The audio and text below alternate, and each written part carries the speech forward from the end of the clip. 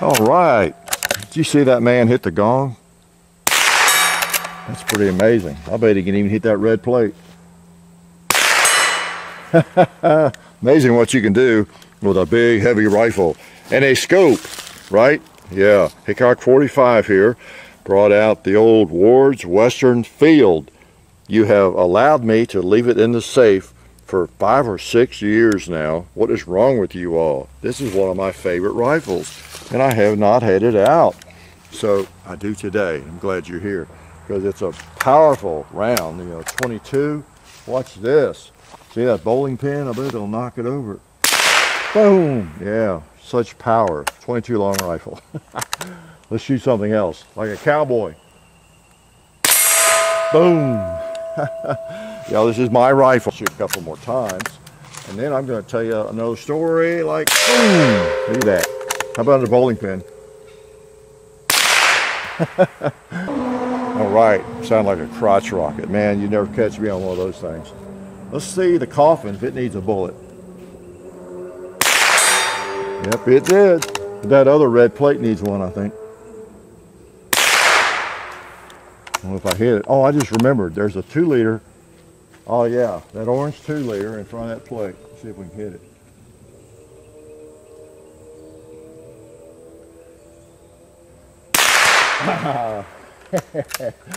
cool. Try that uh, rectangle there. Boom. Nothing like steel. Let's put a couple if we have them on the paper target here. I'll aim a little bit high. See if I can get it in the red. A little bit. Too high. Boom. All right.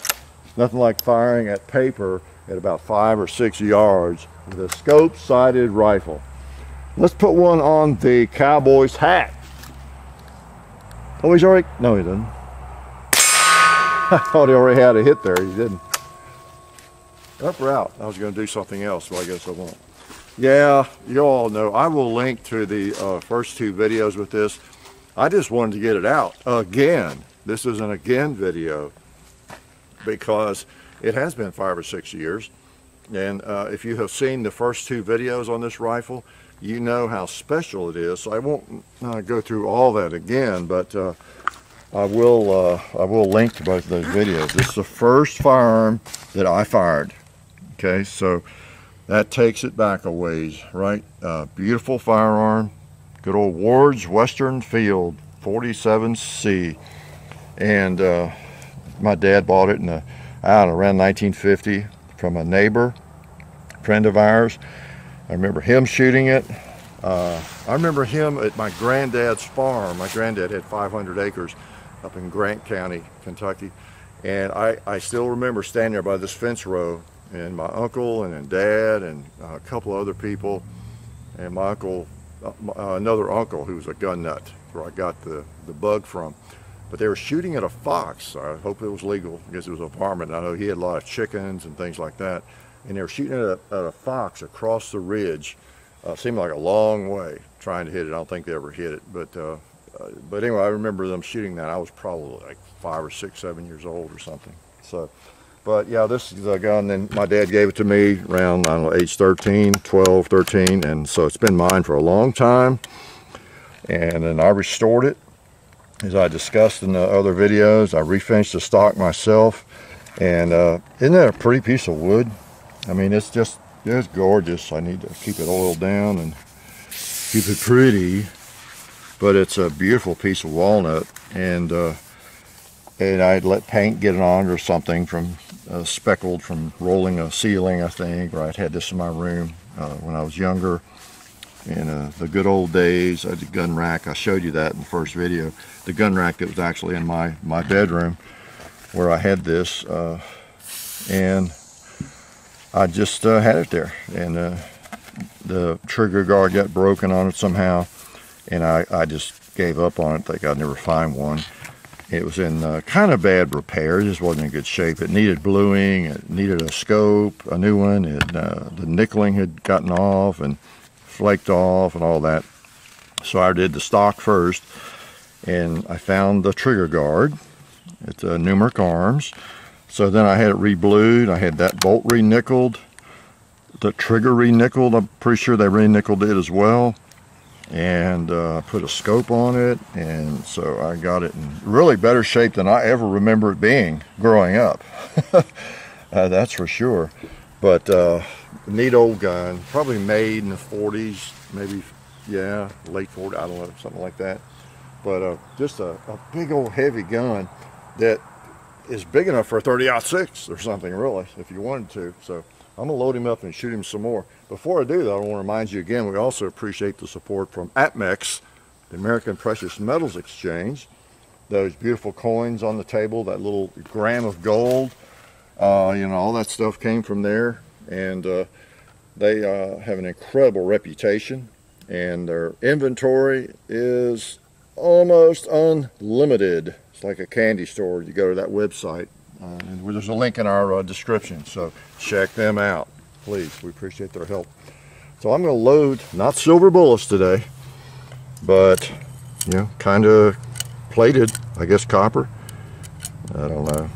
I always think copper plated. I don't know how much copper's in it. Probably not much, right?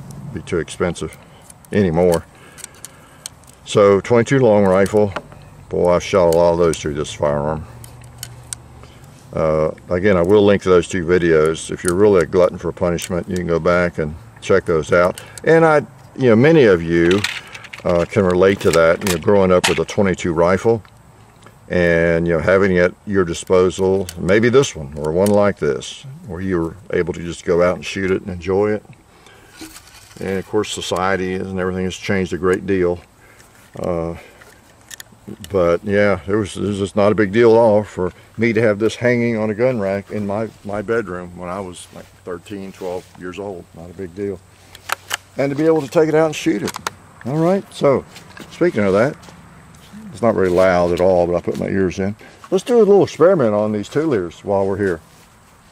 Why don't, uh, let's see, that green one and that uh, orange one. I'll shoot the green one on the bottom and see what it does. Whee doggies. All right, I'll shoot the orange one near the top and then kind of the neck and see what it does. well, they both kind of went crazy for a little bit, didn't they? And I'm going to shoot that bowling pin down there and see what it does. Bowling for dollars. There's another one. Oh, another two liter. Got him on the bottom. Got him on the bottom and he shot up a little bit. Let's do that on these. See if we get them to rocket a little bit. I'll shoot this one on top. Okay. Maybe it's better to shoot them low. Okay, we're just usually kind of random about it. So we thought we'd do a little scientific experiment uh, here. So, you know what? There's another two liter on the hill over there, I think, behind that tree. Yes. I don't know if I can hit it offhand, but we'll shoot at it.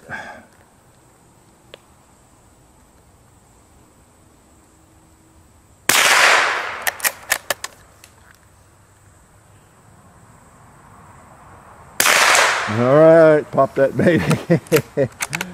uh, about a red plate. All right, another red plate. How about a gong?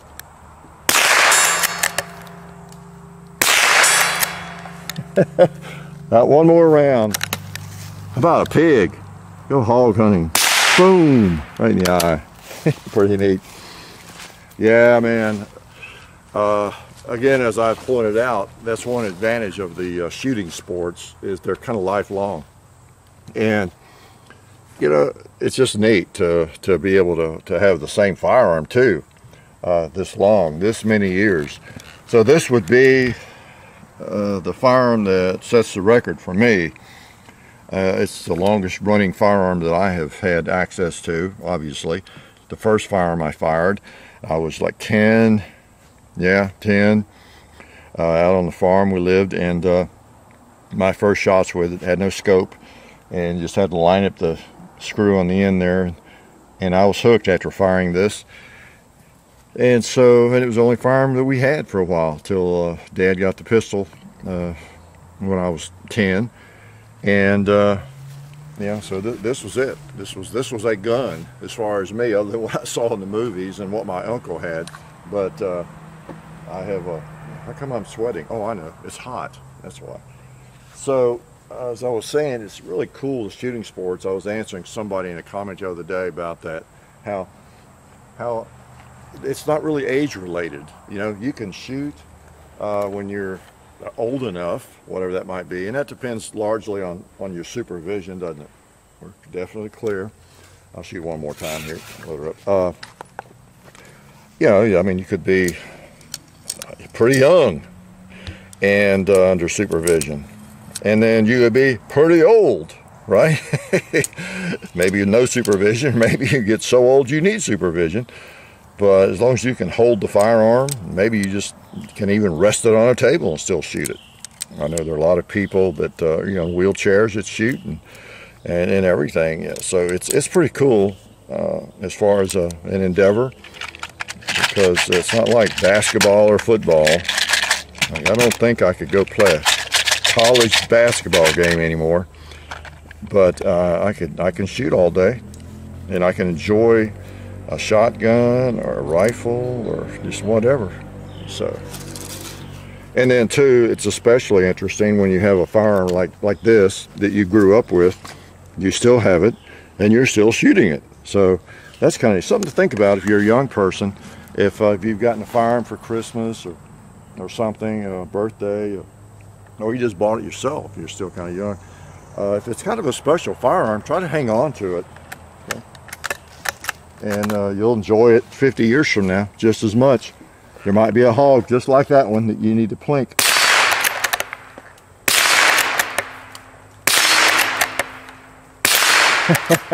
or a paper target you need to plink. Boom, it got splashed. or a cowboy you got to finish off like that one. Have some plates you need to hit.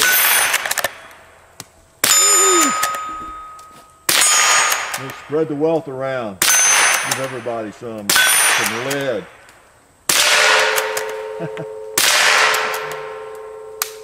and uh, well, tell me we're empty already. You know, the thing has always worked. I don't think I've ever had it uh, to a gunsmith other than just the work I had done on it to finish and refinishing and everything.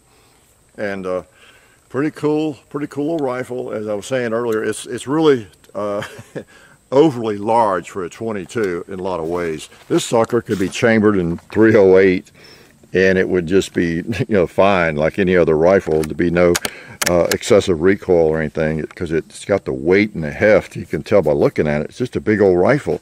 It's uh, kind of surprising when you, I see these at gun shows occasionally. They're pretty rare really now. And uh, if you didn't know what you're looking at, I'm sure a lot of people walk by and see it and think, it's probably a large centerfire you know, uh, caliber, but uh, but they're neat. These were made by Mossberg again, and uh, and Montgomery Ward was like a Sears, you know, and uh, so they made them for Montgomery Ward. They may have made them for Sears as well, uh, under a different name even. So Ward's Western Field, and this is the 47C. Shoot shorts in it, longs or long rifle.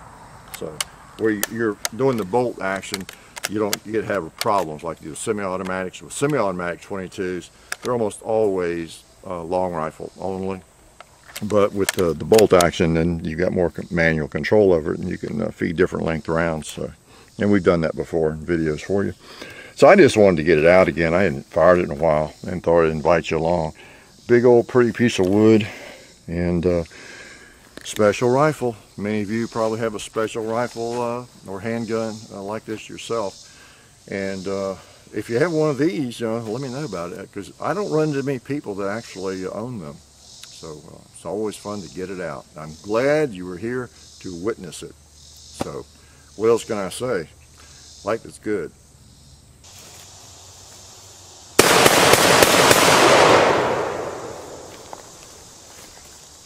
Oh, hi. Well, I've got you here. I want to let you know about some other places you can find us on the internet and talongungrips.com. So you can find us on Facebook under Hickok45, on Instagram, The Real Hickok45. I also run an Instagram called John underscore Hickok45, Hickok45 on Twitter. There's also Hickok45.com, our website, where you can find information about everything that we have going on, basically, all of our supporters. Uh, you can also find our merchandise on bunkerbranding.com, so please check all that out when you have time. And also, please check out talongungrips.com. we appreciate all of their support in getting attacked by spiders. I don't know if they have any products for that or not, but you can get a lot of different grips for different types of handguns and rifles um, to give you different types of textures that you may want um, that they can really help you uh, grasp the pistol um, much better. So go to talongungrips.com and check everything out that they have. And as always, read the descriptions in these videos. There's a lot of questions you may have that can be answered by the description and also check out the links that we have down there. I appreciate it and uh, I've got some more uh, shotgunning to do. I'll see you guys later.